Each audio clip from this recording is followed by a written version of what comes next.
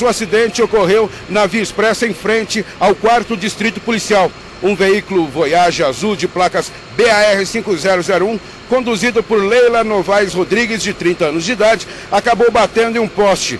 Luciano Aparecido Hernandes, de 33, e Vinícius Rodrigues de Lima, de 10 anos, estavam no interior do veículo. A situação lá foi feia, né, Tenente Marafico? Tendo em vista que a mulher perdeu o controle e entrou num poste.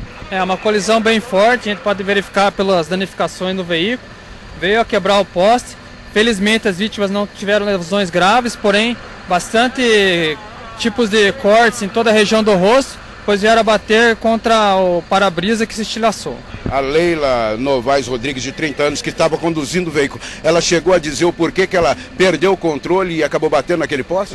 Informação dos ocupantes que o condutor foi trocar um CD e veio a perder o controle do veículo e quando se deu conta não conseguiu mais realizar a manobra vindo a colidir com o poste.